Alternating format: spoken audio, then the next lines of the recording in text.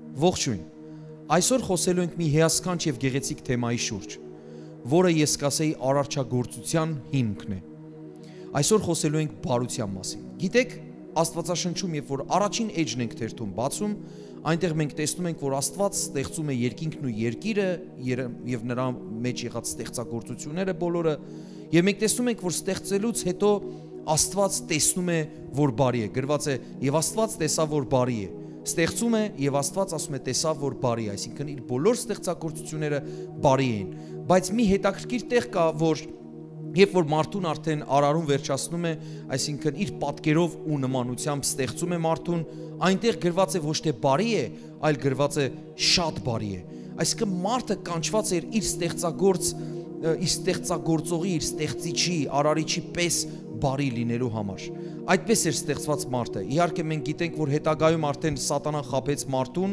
եւ չարը մտավ այս աշխարհ ու բարությունը համարվեց արդեն իղծ։ Հետո մենք տեսնում ենք մարդը Աստծո ազդեցության տակ բարի է դառնում, իսկ չարի ազդեցության տակ չար։ Ու այս կռիվը այս աշխարհում կա։ Սիրելիս, որ դու դիտում ես մեզ, ես հավատում եմ, որ դու օրհնված կլինես ու դու կբռնես բարիի կողմը։ Դու կլինես քո Աստծո կողմը, որովհետև Աստված քեզ կանչել է բարի լինելու։ Ինչ է բարությունը։ Բարությունը Աստվածային սիրո դրսևորումն է մեր ներսից։ Այսինքն Աստված է, որ այդ սերը դրել է մեր մեջ որ երբ որ այդ սերը դրսևորվում է մարդկանց հանդեպ կամ ինչ որ մի բանի հանդեպ, սա կոչվում է բարություն։ Հնարավոր է ստեղծագործության հանդեպ, որ մենք բարի լինենք, հնարավոր է չար լինենք, ամեն ինչ ջարդենք, փչրենք, բայց Աստված մեզ կանչել է իր նման լինելու ստեղծագործ էություն եւ բարի էություն։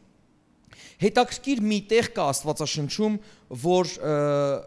խոսում է հոգու պտղից, Սուրբ հոգու պտղից, կոչվում է Սուրբ հոգու պտուղ։ Ինչ է այս պտուղը։ Աստված մեր մեջ հավատացյալներիս մեջ դնում է Սուրբ Հոգու պտուղը, սա մի հետաքրքիր պտուղ է բազմահամ, որ ունի տարբեր համեր։ Գիտեք, մենք համտեսում ենք տարբեր տեսակի մրգեր, գիտենք, որ տարբեր տեսակի համեր կան, բայց այս պտուղը հոգևոր այս պտուղը, Սուրբ Հոգու պտուղը, հետաքրքիր է նրանով, որ ունի բազում տեսակի համեր։ Եկեք կարդանք տեսնենք ինչ համերի մասին է խոսքը։ Գաղատացիներին ուղված Պողոս Արաքյալի նամակն ենք մենք կարդում 5:22-23-ը ասում է այսպես. բայց հոգու պտուղն է սեր, ուրախություն, խաղաղություն, երկայնամտություն, քաղցրություն, բարություն, հավատ կամ հավատարմություն, հեզություն, ժուշկալություն։ Այդպիսիների դեմ օրենք չկա։ Գիտեք, երբ որ Աստված տեսավ, որ չար ուժը ներգործում է այս աշխարհում, օրենք դրեց, որ เป զի կանգնեցի կանգնեցնի այդ չարության զորությունը, չարության ներգործությունը, բայց այստեղ մենք տեսնում ենք, որ այսպիսիների դեմ ասում է օրենք չկա։ Էլ ինչ օրենք, եթե մարդը բարի է արդեն։ Էլ ինչ օրենք, եթե մարդը խաղաղասեր է, էլ ինչ օրենք, եթե մարդը համբերատար է, երկայնամիտ է, եթե քաղցր է, եթե ժուշկալ է։ Ես կարդում եմ Աստվածաշնչից այս բոլոր համերը իրար հետ պարփակված կոչվում է Սուրբ Հոգու պտուղի այս համերի համադրությունը։ Բայց ես այսօր խոսում եմ ոչ թե այս մյուս բոլոր համերի մասին, ես խոսում եմ բարության մասին, որովհետև բարության ճգնաժամ է ապրում վերջին օրերին մարդկությունը։ Երկրագունդը լցված է ատելությամբ։ Մարդիկ իրար ատում են, սիրո բացակայությունը կա։ Դրա համար Սուրբ Հոգին ուղակի սրտից դրեց, որ ես խոսեմ բարության համար, որ เป զի մարդիկ ովքեր որ դիտեն, որոշում կայացնեն, այսօր մենք աղոթք ենք ունենալու, այսօր կոչ ենք ունենալու, որ เป զի մենք լինենք բարի ու Աստված պարզապես մեր միջոցով վայելի իր ստեղծած այս պտուղը, այս պտուղի մեկ տեսակ համը, որ կոչվում է բարություն։ Ինչպես է մեր մեջ առաջանում բարությունը։ Գիտեք, ինչպես որ պտուղը ունի իր սկիզբը, ունի իր ընթացք, ունի իր ավարտը, նույնպես էլ այս պտուղի այս համը, որը բնավորության մաս է, ընդհանրապես Սուրբ Հոգու պտուղը, որը այս բոլոր համերի համադրություն ունի, սա հենց Սուրբ Հոգու բնավորությունն է, այսինքն Սուրբ Հոգին իր բնավորությունը դնում էր մեր ներսը։ Մենք լցվում ենք այդ բնավորության այդ բաղադրիչներով ու մեր մեջ դրանք աճում են, ինչպես որ պտուղը ունենում է խակը ժամանակ, հնարավոր է որ դեռ նոր է բարությունը, պետք է մենք այդ ժամանակ, երբ որ խակ է լինում, չպետք է նեղվենք, ասենք, մեր մոտ չի ստացվում բարի լինել կամ խաղաղասեր լինել։ Մենք գիտենք, որ դեռ խակ է։ Մենք հասունացնենք մեր ներսում եւ հետո մենք ինքներս կվայելենք եւ մեր կողքիները, մեր շրջապատը նույնպես կվայելի մեր մեջ եղած այդ բարությունը։ Ուրեմն ձևավորվում է այս հոգու պտուղը, այս աճում է, երբ որ մենք հենց Սուրբ Հոգի Աստծո հետ ունենք հարաբերություն։ Գիտեք, Հիսուսը 2000 տարի առաջ այս աշխարհ եկավ։ Հետո մենք գիտենք, որ երբ որ ինքը գնաց, ասեց, ես կուղարկեմ Սուրբ Հոգին։ Սուրբ Հոգին երբ որ գա, ձեզ կսովորեցնի, ձեզ կհանդիմանի, ձեզ կխրատի, ու Սուրբ Հոգին հիմա աշխարի վրա է։ Իսկ Սուրբ Հոգին է, որ Տերն է այս բնավորության։ Եթե մենք թույլ տանք, որ Սուրբ Հոգին ուղակի ներգործի մեր ներսում, ոչ թե չարը, այս աշխարհի ազդեցությունները, ազդակները, այլ Սուրբ Հոգին ուղակի ներգործի մեր ներսում, մենք կունենանք այդ բնավորությունը։ Մենք կլինենք խաղաղասեր, հավատարիմ եւ այսօրվա հենց թեման, որ կլինենք մենք բարի։ Ինչու է համեմատում ընդհանրապես պտուղի հետ։ Որովհետև պտուղը ասեցինք, որ ունի այս աճելու հնարավորությունը եւ պտուղը նաեւ ունի վերանալու, այսինքն ճիր դառնալու։ Օրինակ մենք գիտենք, մեր հայերս շատ սիրում ենք ճիր, երբ որ պտուղը չորանում է։ Հնարավոր է, որ մենք լինենք բարի, բայց կորցնենք մեր բարությունը։ Դա կարա մեր մեջ չորանա։ Բայց գիտեք ինչ, Աստված ունի հրաշալի զորություն նորից իր հոգու ազդեցությունը ուղարկի մեր մեջ, որ เป զի մենք նորից վերականգնենք։ Եթե դու ժամանակին եղել ես բարի ու ասել ես բարության այս պտուղից արդեն ձանձրացա ու նորից հիմա չարության մեջ ես, սիրելիս, ապա սխալվում ես։ Ինչ ցանես դա էլ կընձես։ Եթե ցանես բարություն, բարություն էլ կընձես։ Հնարավոր է դու մեկն ես, որ ասես ես բարություն եմ ցանել, բարի եմ եղել ամեն բանի հետ կապված, բայց ես այդ բարին չեմ տեսել։ Գիտես ինչ, անհամբեր ես եղել, ուզեցել ես տեսնել այն ինչ որ դեռ աճած չի եղել։ Մենք որ պտուղ ենք ցանում, ինչ որ մի բան ենք ցանում սերմը, մենք պետք է համբերատար լինենք, որ տեսնենք, երբ որ ծաղկի, երբ որ գա այն ժամանակը քաղելու, այդ ժամանակ քաղենք։ Մենք ընդհանրապես արևելցիներս սովորություն ունենք, որ գնում ենք շատ շուտ, տեսնում ենք սերմը արդեն աճել է, ուզում ենք դա վայելենք, բայց դա այդպես չէ։ Պետք է մենք թույլ տանք նա աճի մինչև վերջ հասունանա ու նոր մենք դրանից հետո կարող ենք վայելել։ Այնպես որ սիրելիս, եթե դու դաթարել ես քո ներսում զգում ես, որ դաթարել ես բարի լինելուց, այս ուղերձը քեզ համար է, որ դու սկսես մտածել ու քո մեջ վերականգնել ու նորից կյանք տալ, նորից Աստծո հոգուց եկած այդ ջրերը նորից կենթանացնեն քո մեջ եղած այս պտուղը, որ կոչվում է բարություն։ Ուրեմն Եսայա մարգարեի մեջ առաջին խոսք, առաջին գլուխ 17-րդ խոսքից ասում է այսպես. առաջին գլուխ 17-րդ խոսքից ասում է. սովորեցեք բարություն անել։ Որոնեցեք իրավունք ուղություն ցույց տվեք զրկվածին որբի դատը տեսեք որբևայրու դատը պաշտպանեցեք ուրեմն մենք տեսնում ենք որ բարությունը մի այնպիսի հասկացողություն է որը նաև սովորում են աստվածաշունչն ասում է սովորեցեք սովորեցեք բարություն անել որոնեք փնտրեք իրավունք ուղություն ցույց տվեք զրկվածին որբի որբևայրու դատը պաշտպանեք Այստեղ Աստված ցույց է տալիս, որ բարությունը այնպես չէ, որ մենք ծնվում ենք բարի։ Բոլորն էլ բարի են ծնվում, որովհետև երեխաները ասում է Աստծո խոսքը, որ նրանք ունեն իրենց ներսում Աստծո թակավորություն։ Իսկ Աստծո թակավորությունը բարությամբ ներծծված է։ Մենք հետո է որ լծվելով աշխարից եկած տարբեր սերմերով այդ բարությունը մեր մեջ հնարավոր է չորանա։ Նույնպես եւ բարությունը մի հետաքրքիր անուն ունի, որ ես անվանել եմ պարզապես բարությունը մի հետաքրքիր անվանում ունի՝ տալ, տալ եւ տալ։ Տեսեք սահմանումը։ Հովանես 10:11-ի համաձայն եմ ասել ես։ Ես եմ բարի հովիվը։ Հիսուսն է ասում. Ես եմ բարի հովիվը։ Բարի հովիվն իր անձը դնում է ոչխարների համար։ Ես եմ բարի հովիվը, բարի հովիվը իր անձը դնում է ոչխարների համար։ Ինչպես որ հովիվը հոգ է տանում ոչխարների գառնուկների հանդեպ, այդպես էլ մեր Տեր Աստվածը ինչու է համեմատում ինքն էլ ասում իրեն համար, որ ինքը բարի հովիվ է, որտեվ հովիվը ամեն բան անում է, որ իր ոչխարներին հավաքի, հոգ տանի, կերակրի, ամեն բան անի։ Շատերը, եթե դու օրինակ հիմա անհավատ ես ու նայում ես ու ժամանակին էլ ծաղրել ես հովիվ գառնուկ, հովիվ ոչխար հարաբերությանը, ասեմ սա վիրավորական բան չի։ Ամեն ինչ Աստված օգտագործում է խորհրդանիշներով, որպեսզի մարդիկ ավելի լավ հասկանան ուղերձը։ Շատ փոխաբերական իմաստով բաներ կան օգտագործված Աստվածաշնչում։ Հովիվը իր գառնուկներին հոգ տանողը նույնպես Տեր Հիսուսն է, որ հոգևոր հովիվներով որ հոգ է տանում իր գառնուկները, այսինքն մեր հանդեպ, ու ասում է, որ ինքը իր կյանքը կդնի։ Գիտեք, քրիստոնեությունը սա է, կյանքի դնելը։ Քրիստոսը իր կյանքը դրեց մեր համար, ու մենք էլ իրար համար պետք է կյանք դնենք։ Սա է գլխավոր բարությունը։ Եփեսացիներին ուղված նամակում Պողոս Արաքյալը ասում է, որովհետև հոգու պտուղը ամեն բարությունով է։ Հոգու պտուղը, այսինքն բոլոր այդ պտուղը, որ մի քիչ առաջ մենք կարդում ենք, բարությունը հատուկ տեղ ունի։ Բարությունը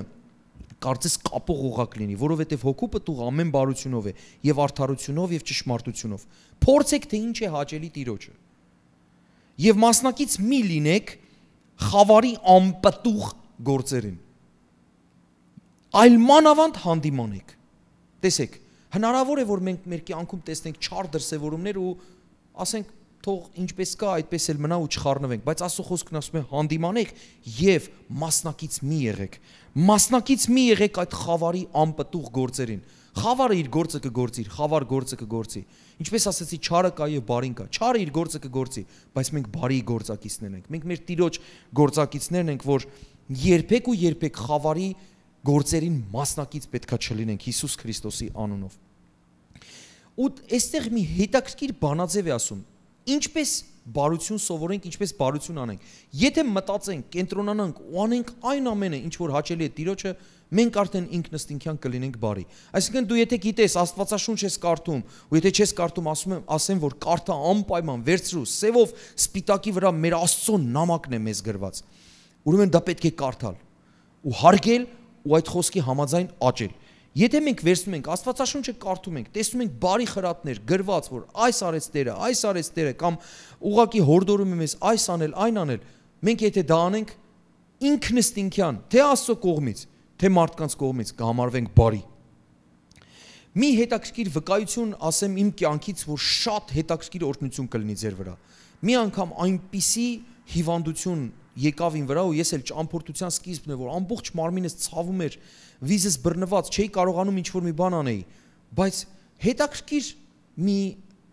միտք եկավ ինձ ես հավատում եմ որ Տերն էր խոսող այդ միտքը ուղարկողը գիտես ինձ ասեց որ կենտրոնացիր Աստծո բարության վրա իմ կինը այդ ժամանակ հղի էր ու ես պետք է իրեն օգնեի ու ամբողջ մարմինս այդպես ցավում էր, չէի կարողանում վիզս շարժեի ու պետք է մենք ճամփորդեինք, օթանավակայան պետք է գնայինք ու այդպիսի ցավ համակեց ինձ։ Ու Սուրբ Հոգին, ես հավատում եմ, որ Սուրբ Հոգին էր շշնջաց, որ կենտրոնացիր Աստծո բարության վրա։ Որոշ ժամանակ փակեցի իմ աչքերը, մտածեցի թե որքան բարի է Աստված, որքան է նա սիրում իր զավակներին, որքան է նայում ու հոգ տանում մեր հանդեպ։ Ու գիտեք ինչ, որոշ ժամանակ անց ես տեսա, որ ոչ մի ցավ չունեմ իմ մարմնում։ Նույնիսկ կարող եմ ծանր ճամպրուկները վերցնել։ Գիտեք, շատ սա շատ հետաքրքիր գաղտնիք է, երբ որ դու կենտրոնանում ես քո Աստծո վրա, քո արարիչ, ու դու գիտես, որ քո Աստված բարի է ու քեզ չարը չի ցանկանում, դու կլինես բժշկված։ Սա այնքան հետաքրքիր գաղտնիք է, որ բացվեց ինձ այդ օրը, ու ես շատ օրհնված եմ։ Երբ որ ինչ որ բան է լինում, մարդիկ կարող են մտածել, դե ինչու Աստված սա տվեց ինձ, ինչու է Աստված տանջում։ Ասեմ ձեզ, Աստված երբեք չի տանջում։ Աստված բարի է ամեն ժամանակ ու դու եթե կենտրոնանաս Աստծո բարության վրա, դու շատ հարցերի պատասխան կառնես։ Գիտեք, բարությունը շնորհալի եւ կառուցողական շփման արժեքն է։ Սա շատ կարեւոր է։ Մենք պետք է ճիշտ օգտագործենք մեր լեզուն նույնիսկ, որ այդ լեզուն օգտագործելով մարդիկ տեսնեն այդ բարերից կշտանան ու իմանան, որ մենք բարության սերմեր ենք ցանում իրենց կյանքի մեջ, որովհետև լեզուն ինքը փոքր օրգան է մեր մարմնի մեջ, բայց ինքը այնքան բան կարող է անել, այնքան բան կարող է արարել։ Գիտենք, որ Աստված, որ ստեղծել է այս երկիրը ու այս երկինքը ստեղծել է լեզվով, ստեղծել է խոսքով, ու մենք էլ մեր կյանքի մեջ ինչ որ մեր լեզվով ցանենք, դա էլ կհնձենք։ Շատ անգամ մենք ուշադրություն չենք դարձնում մեր լեզվին, ու մեր լեզվին պատտվում է, ինչպես ժողովրդական խոսքն ասում, լեզուն ոսկոր չունի, պատտվում է ու բաներ է խոսում ու հետո մենք հնձում ենք այն, ինչ որ մենք արդեն ցանել ենք մեր լեզվով։ Դրա վրա շատ ուշադրություն դարձրեք կենտրոնացեք ձեր լեզվը, թե ինչ եք խոսում։ Իսկ եթե ուզում եք լավ բաներ խոսեք, իհարկե դա մտքերից է գալիս։ Մենք հետո մենք տեսնում ենք, որ պետք է լծվենք Աստծո խոսքով, որ Աստծո խոսքը լծվի ու մեր լեզվից արդեն ինքնաբերաբար դուրս գան բարի խոսքեր, հաճելի խոսքեր, խաղաղություն հաստատող խոսքեր։ Այնպես որ շատ կարևոր է ինչով որ մենք լծվում ենք, դա էլ արտադրում ենք։ Ուրեմն Մատթեոս ավետարանի մեջ շատ հետաքրքիր մի բան է նորից ասում 7-րդ խոսք 17-ից 20-ը։ Այսպես ամեն բարի ծառ ամեն բարի ծառ բարի պտուղ է բերում։ Իհարկե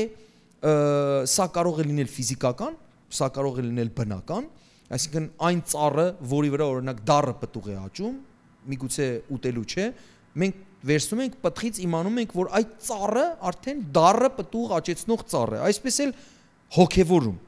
Ամեն բարի ծառ բարի պտուղ է բերում եւ չար ծառը չար պտուղ է բերում։ Չի կարող բարի ծառը չար պտուղ բերել։ Ոչ էլ չար ծառը բարի պտուղ բերել։ Ամեն ծառ, որ բարի պտուղ չի բերում, կտրվում է եւ կրակի մեջ է գցվում։ Անցյալ անգամ մենք նույնիսկ խոսում էինք կացինը ծառի մոտ, որ երբ որ կացինը դրվում է ծառի մոտ, որ ծառի մոտ, այն ծառի մոտ, որ արդեն չորացած է եւ պտուղ չի բերում ու այգեպանը գնում, այդ ծառը կտրում է, որ ավելի չվնասի մյուս ծառերին, որ թույլ տա, որ աճի, աճեն մյուս ծառերը ու պտուղ բերեն։ Ուրեմն իրենց պտուղներից ճանաչեցեք նրանց։ Գիտեք, այս չարությամբ լցված աշխարհում, այս կարելի ասել այն խավար տեղերում, որ որ Աստված չէ իշխանը, որ մարդիկ Աստծուն չեն հրճակել թակավոր եւ իշխան, գիտեք կա այդ ատելությունը, այդ ատելության մտնոլորտը, որ մարդիկ ամեն մի բանի կարող են պիտակ կպցնել ու ասում են սա այսպես է, նա այնպես է, սկսում են բամբասել, մատով ցույց տալ, ասել որ սրանք այսպեսին են, այնպեսին են, օրինակ ցույց տալ եկեղեցիներ ասեն սրանք բոլորը աղանդավոր են, չար են, բամբասանքներ կպցնել, թերթերում գրել, տեսնես ինտերնետում ինչ մեկնաբանություններ են թողում, ինչ կոմենտներ են գրում, իրար հայոյել, սիրելներ, երբ պետքա մենք դադարենք դա անելը Եթե նույնիսկ մեկ-մեկ տեսնում ես հանուն Աստծո սկսում են մեկնաբանություններ թողնել, հանուն Աստծո։ Ու դու տեսնում ես, որ դուք Աստծուն չեք ճանաչում ու սկսում են զրպարտել, ձեզ պետք է վառել, ձեզ գիտեք, ամեն ծառ ճանաչվում է իր պտղից։ Դա է ձեր պտուղը, ձեր կոմենտներն են, ձեր այդ հաղորդագրություններն են, ձեր ինտերնետում թողած ձեր այդ ստատուսներն են, ամեն ինչն են ձեր արտադրած պտուղը։ Ու ըստ այդմ դուք իմանաս դու Աստծուց ես թե ոչ։ Մի անգամ, երբ որ Հիսուսը մտավ ինչ որ մի տարածաշրջան, ուր որ խոսքը խոսում էր եւ չեր ընդունվում այդ խոսքը, երկու աշակերտ ասացին. Հիսուս, եկ կրակ բերենք երկնքից ու այրենք բոլորին։ Իրենք գիտեին, որ Աստված կարող է կրակ բերել ու այրել բոլորին, բայց Աստված Հիսուս Քրիստոս այդտեղ դարձավ եւ աշակերտներին ասեց. ուշադրություն դարձրեք, թե ինչ հոգուց եք խոսում։ Դուք ինչ հոգուց եք, այսինքն դա բարի հոգուց չէր։ Հիսուսը երկայնամիտ, այդ երկայնամտությունն էլ է հոգու պտղի համերից մեկն է։ Հիսուսը երկայնամիտ, համբերատար Աստված է ու սպասում է, որ ամեն մեկը դարձի գա, ամեն մեկը ճանաչի իր Աստծուն, լինի իր Աստծու պես, որտեղ մենք բոլորս կանչված ենք տարբեր լինել կենթաններից։ Ցավոք սրտի երբեմն կենթանները ավելի բարի են գտնվում, քան թե մարդիկ։ Գիտեք, մենք կանչված չենք իրար ատելու, ատելություն ցանելու։ Եթե նույնիսկ տեսնում ենք սխալ են մեր դիմացիները, ինչ որ սխալ հավատքի մեջ են, ինչ որ սխալ բաներ են անում, ինչ որ նույնիսկ բամբասում են, բայց չէ որ Աստված կանչել է չարը բարիով պատասխանելու, ոչ թե չարը չարությունով։ Այնպես որ եթե դու քեզ Աստծո որդի ես համարում, դու քեզ քրիստոնյա ես համարում, մի պատասխանիր այնպես ինչպես որ իրենք են անում։ Դու բարիով պատասխանիր։ Այդպես ասում է Տերը կրակի կայծեր կտեղաս իրենց գլխին եւ իրենք հետո ներշնչվելով քո բարությունից մի օր կզղջան։ Այնպես որ շատ լուրջ բանաձև է սա, շատ լուրջ ամփոփող օրենք է, դոգմա է կարող ենք ասել, որ ծառը պտղից է ճանաչվում։ Եթե դու տեսնում ես ինչ որ մեկին ու մեկի բամբասանքներով ուզում ես գնահատականներ հասցնել շատ արագ, ուզում ես միանգամից դատել թե ինչպիսինն է դա կամ ինչպիսին է նա, եթե մարդու մասին է խոսքը, դու պետք է նայես, դու պետք է քննես ու պտուղով ճանաչես։ Նայես ուշադիր ինչ են արտադրում։ Շատ անգամ եկեղեցիների մասին, սրանք աղանդ են։ Մի հատ ուղակի նայր։ Ինչ են իրենք քարոզում, եթե իհարկե քարոզում են Հայր, Որդի եւ Սուրբ Հոգի եւ Աստվածաշնչյան բոլոր ճշմարտությունները, ինչպես կարող են աղանդ լինել, որովհետեւ քո պատկերացրածի համաձայն չեն։ Իսկ ով ասեց, որ քո պատկերացումն է ճիշտ։ Չէ՞ որ Աստվածաշունչն էլ ունի իր պատկերացումը եւ մենք կարդում ենք Աստվածաշունչը։ Ուրեմն մի եղիր շտապ շտապողական բնավորությունդ մի կողմ դիր ու նայիր ուղակի պտուղներին ու տեսի ես ինքս նույնպես քննելով եմ հաճախել մեր եկեղեցի ու դարձել եկեղեցու անդամ այն ժամանակ երբ որ տեսել եմ որ ամենուրեք աստվածային ներգործություն կա սիրելիներս մի ատեք իրար սիրեք իրար որովհետև մեր Տերը կանչել է իրար սիրելու ու այդ սիրո արտահայտումը հենց սիրո դրսևորումը կոչվում է բարություն Փառք Հիսուս Քրիստոսին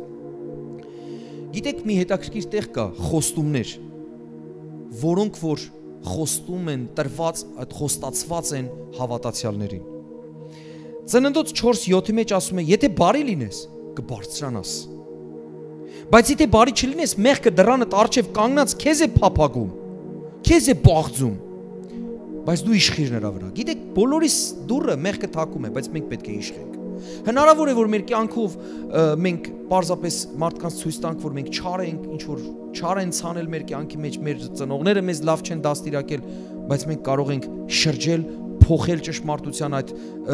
էջը, դարձնել սուտը փակել, ճշմարտությունը բացել եւ պատմության ընթացքը փոխել, կյանքի ընթացքը փոխել։ Նորից մի տեղ կա, որ ասում է բարության գանձը օրինաց բեն օրինաց գրքի մեջ, բ օրինաց գրքի մեջ է գրված Տեր ասում իր բարության գանձը այսինքն երկինքը քեզ համար կբանա, որ เป զի երկրի անձրևը տա իր ժամանակին եւ քո ձերքի ամեն գործերը օրհնի։ Քո ձերքի բոլոր գործերը օրհնի եւ դու շատ ազգերի փող կտաս, բայց դու փող չես առնի։ Եթե բարի լինես։ Տերը բարության պայմանն է դրել։ Ուրիշ մի հետաքրքիր տեղ, որ լավ վերջաբան է, կյանքի լավ վերջաբան, դատավորած 8:32-ը ասում է, միգուցե ես որ երբ որ ասում եմ այս աստվածաշնչյան համարները դատավորած կամ ինչ որ օրինած, դրանք բոլոր աստվածաշնչյան գրքեր են։ Խնդրում եմ քեզ, անպայման կարդա աստվածաշունչը։ Դա Աստծո շունչն է, որ ուղակի կմղվի դեպի քեզ, դու կլինես Աստծո նման։ Ասում է այսպես դատավորած 8:32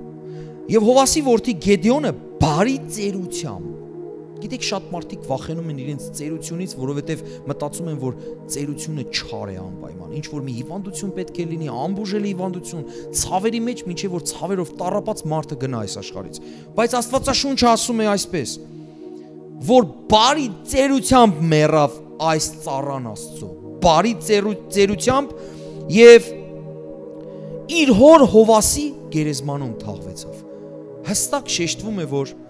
մարդը բարությամբ, Աստծո ծառայր ու բարությամբ մահացավ։ Ով չի ուզում բարի մահ, ով չի ուզում բարությամբ ներծծված մահ, բոլորս ուզում ենք դա։ Իհարկե քրիստոնյաների համար մահ չի ասում, ասում է մարդը ննջեց, որովհետև գնաց երկինք։ Հաջորդ տեղը Դավիթ թագավորի մասին է, որ մենք քաչ գիտենք թե ով էր Դավիթը, թե ինչ ցանեցինք իր կյանքում, ասում է այսպես առաջին մնացորդած 29-28-ի մեջ բարի ծերությամբ մեռավ ասում է կյանքից օրերից մեծությունից, հարստությունից եւ փառքից իր բաղձանքը առած կամ կշտացած եւ նրա տեղ իր որդին Սողոմոնը թագավոր եղավ։ Ով չի ուզի իր կյանքը վերջացնի այսպիսի բարությունով, որ կշտացած, ասում է, ամեն ինչից հագեցած գնաց իր տիրոջ մոտ։ Ինչպիսի փառահեղ վերջաբան, եթե մարդը լինում է իր կյանքում բարի։ Դավիթի համար ասվում է, որ Աստծո սրտի համեմատ մարդ էր։ Ինչպես էր նա դարձել Աստծո սրտի հետ համեմատ մարդ, որովհետև նա Աստծո հետ ուներ մտերիմ փոխհարաբերություն։ Գիտեք, ում հետ որ շփվես, ում հետ որ ունենաս մտերիմ փոխհարաբերություն, ինքնստինքյան նրան կնմանվես։ Ընկերները միշտ իրար նման են լինում, իրար ձգտում են, իրար նման են լինում։ Այնպես էլ եթե մենք ընկերություն անենք մեր Տիրոջ հետ, որովհետև Տերը ստեղծել է մարդուն նաև նրա համար, որպեսզի հաղորդակցություն ունենա, շփվի եւ մտերմություն անի։ Այնպես էլ մենք այս փոխհարաբերության մեջ հնարավոր չի որ բարի չլինենք, որովհետև մենք մեր ընկերոջը, մեր տիրոջը նման կլինենք։ Մեր հավատացյալ ընկերներին նման կլինենք, որոնք որ բարի են։ Հալելույա, փառք տիրոջը։ Գիտեք, հնարավոր է որ մենք մեր կյանքում պարզապես դժվարությունների, փորձությունների, տարբեր տեսակ բաների հետևանքով չարացած լինենք բայց մի հետաքրքիր երկ կա, որը ինքը երկ քարոզ է։ Ուղերձ է, որ եթե մենք այդ երկի բարերը կատարենք, ուրեմն մենք ինքնստինքյան բարի էլ կլինենք։ Մինչև այդ երկին անցնելը ես քեզ ուղակի խնդրում եմ։ Պարզապես սիրտդ բաց հակառակություններ եթե կա մեջդ մի կողմ դիր պարզապես մտքիդ մեջ ասա Տեր եթե դու ես այս ուղերձը իմ դիմաց հանել ուրեմն դու էլ կխոսաս եւ ես կլինեմ բժշկված ու իմ սիրտն էլ բարությունով լցված այս խոսքերը դու լսած կլինես։ Շատ հետաքրքիր բառեր է ասվում, ասում եթե դժվարության հանդիպես կամ թե մարդկանցից արամարվես, ինչքան էլ ծանր վիճակ լինի, երբեք ոչ ոքի մի մեղադրիր։ Սա եթե անես, սա բարություն է կոչվում։ Եկ ուղակի սիրտդ բաց, միասին երկենք, երկրպագենք մեր Տիրոջը, եւ ես հավատում եմ Սուրբ Հոգին կազդի, որ เป զի դու փոխվես։ Հալելույա, փառք Տիրոջը։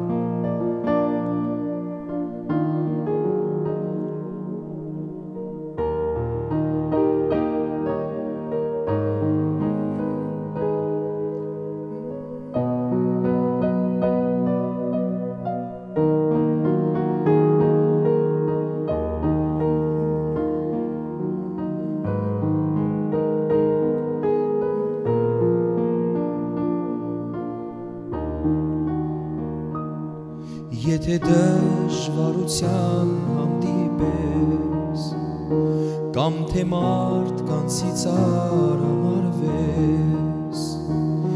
ինչքան էլ ծանր վիճակ լինի երբեք ոչ ոքի մի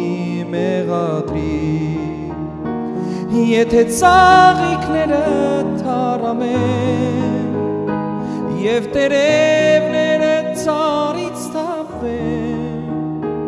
իսկ սրտումդ կրակը մարի երբեք ոչ ոքի մի մեղադրիր եթե ծաղիկները թարամեն եւ տերևները ծառից թափվեն իսկ սրտումդ կրակը մարի երբեք ոչ ոքի մի մեղադրիր դել արևը քեզ չփայլի եւ կյանքի տորերը խավարի եւ սկաս սառնություն սրտիդ մեջ մի մեղադրիր ոչ ոքի երբեք թե ճամփի ծաղիկներ չլինեն այլ միայն սուր քարեր հանդիպեն իմ եղբայր այս խոսքը դու հիշիր երբեք ոչ ոքի մի մեղադրիր եթե ծաղիկները թարամեն եւ տերևները ծառից թափեն իսկ սրտումդ կրակը մարի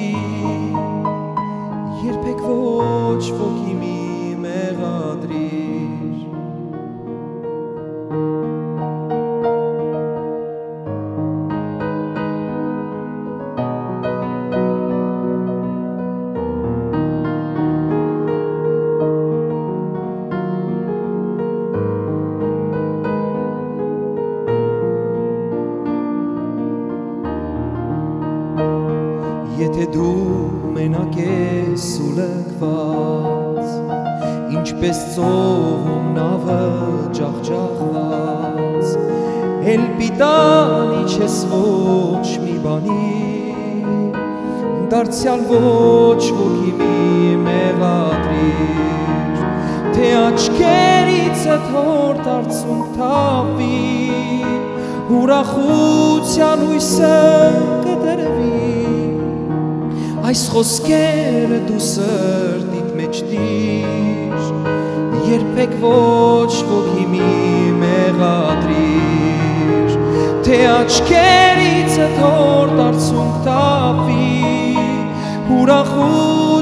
հույսը կտրվի Այս խոսքերը դու սրտիդ մեջ դիր Երբեք ոչ ոքի մի մեղադրիր թե նույնիսկ հարազատ ընկերը եւ հանկարծ դրշիր երթումը քեզ մորանա եւ սերը փոխի նրան էլ դարձյալ մի մեղադրիր որովհետև Հիսուս Քրիստոսը ներում է բոլորիս մեղքերը հայացքը միայն նրան դուղիր եւ նրա նման դու էլ ներիր որովհետև Հիսուս Քրիստոսը ներում է բոլորիս մեղքերը հայացքը միայն նրան դուղիր եւ նրա նման դու էլ ներիր Քանզի Հիսուսը մեզ սիրելով մեր մեղքը իր վրա վերցնելով խաչի վրա մեզ համար նազողվեց ինձ եւ քեզ թողություն պարգևեց Քանզի Հիսուսը մեզ սիրելով մեր մեղքերը իր վրա վերցնելով Խաչի վրա մեզ համար նազովեց Ինձ ու քեզ թողություն պարգևեց Խաչի վրա մեզ համար նազովեց Ինձ ու քեզ թողություն պարգևեց Փառք Հիսուսի Սիրելիներ, եթե մարդիկ իրենց արարքներով ձեզ չարացրել են, դա չի նշանակում, որ մենք պետք է մնանք չարը։ Մենք պետք է նորից Աստծուց լիցքավորվենք իր սիրով ու մարդկանց ցույց տանք սեր, որովհետև Հիսուս Քրիստոսը մեզ ներեց խաչի վրա, երբ որ նրան մենք հարվածում էինք, կասես մենք, այո, դա մենք էինք։ Եթե մենք լինեինք Հռոմեացի զինվորների փոխարեն, մենք կանեինք նույնը ու հիմա էլ մեր մեղքերով ենք այդ նույնը անում, որովհետև Հիսուսը ներել է մեզ ու մենք մեր մեղքերով շարունակում ենք նրան ցավեցնել։ Գիտեք, կա մեղքերի թողություն։ Հիսուսը կարող է քո մեղքերը ներել։ Եթե դու հիմա սրտանց խնդրես Տիրոջից, որ ների քո մեղքերը, մաքրի քեզ, սրբի քեզ, դարձնի քեզ բարի, Տերը կանի, Տերը պատրաստ է։ Տերը ուղղ ուղակի պահել է իր ձեռքը։ Դու պարզապես ընդունիր, սեղմիր իր ձեռքը եւ կլինես նրա նման փակիր քո աչքերը եւ հետը սարա այս աղոթքը սա կոչվում է վերստին ծնունդի ապաշխարության աղոթք որ ասել է թե նորից ծնվելու պես նորից դառնաս այնպիսին ինչպիսին որ Տերը ծրագրել է որ դու լինես այս աղոթքը կոչվում է փրկության աղոթք եթե դու սրտանց անես այս աղոթքը քո անունը կգրվի կյանքի գրքի մեջ դու դժոխք չես գնա դու կփրկվես ասա սիրելի Տեր խնդրում եմ ներ ինձ բարձրացային կրկնիր։ Ասա, սիրելի Տեր, խնդրում եմ ներիր, մաքրիր ինձ, սրբիր ինձ իմ գործած բոլոր մեղքերը։ Գիտակցաբար թե անգիտակցաբար գործած։ Ես հավատում եմ Տեր, որ 2000 տարի առաջ Հիսուս դու եկար այս աշխարհ։ Մահացար ինձ համար խաչի վրա, թաղվեցիր եւ երրորդ օրը հարություն առար։ Հիմա ես իմ սրտում հավատում եմ, եւ իմ բերանով էլ ասում եմ, որ դու իմ Տերն ու իմ Փրկիչն ես։ Փառք ես իմ Տեր ու իմ Աստված։ Ես փրկված եմ։ Հավիտյանս հավիտենից։ Ամեն։ Սիրելիներս կանցնեն այս օրերը, այս դժվար օրերը, որ մենք իրար հետ հավաքվելու հնարավորություն չունենք եկեղեցում, հավաքույթներ չենք անում, բայց կգա ժամանակը, որ կկարողանանք միասին հավաքվել։ Եվ ես հավատում եմ, դու այս օրը, ինչպես որ ծնվեցիր, կգնաս քո եղբայրների ու քույրերի մոտ կասես ես ժամանակին ինտերնետով այսպես ուղերձը դիտելով Տիրոջը ընդունել եմ ինձ համար որպես Տեր ու Փրկիչ Հիսուս Քրիստոսին ընդունել եմ իսկական քրիստոնյա եմ դարձել հիմա ուզում եմ իմ քույրերի ու եղբայրների հետ շարունակեմ իմ հավատքի կյանքը թող Տերը օրհնի քեզ ամեն